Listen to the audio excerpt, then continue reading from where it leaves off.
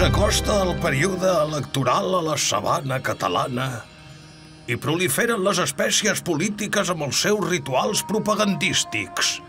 També les més extremes. Vingut de les planúries del Bocata Calamares, el Voxus Fachillus arriba a Catalunya amb ave. Concretament, amb l'àguila franquista. Busca el seu primer objectiu de campanya. El ronda, l'increpa i fa el seu famós gest de demanar-li què posa al seu DNI. L'independentista aconsegueix fugir, però enguany una nova espècie ha aparegut al sempre delicat ecosistema català. Vinguda de la capçalera del Ter, arriba la Ultracatalanus ripollensis.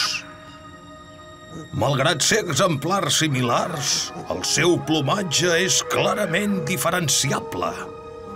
Se'ls ensenyen desafiants.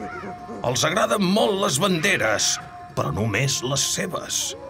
Però de sobte succeeix un d'aquells moments màgics que ens brinda la mare natura.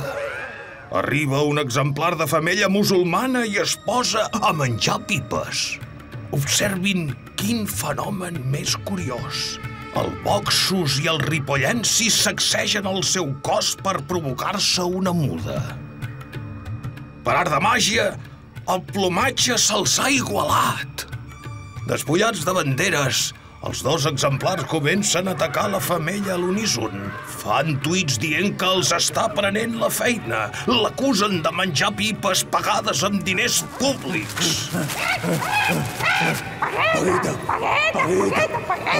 Malgrat ser espècies distintes, troben un interès comú. Fer fora les espècies que migren des d'altres territoris. Contents de la seva inesperada aliança, decideixen que faran servir el crit de caça.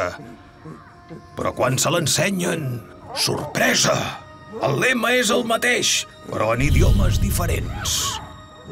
De cop, han recuperat el plomatge i tornen a barallar-se.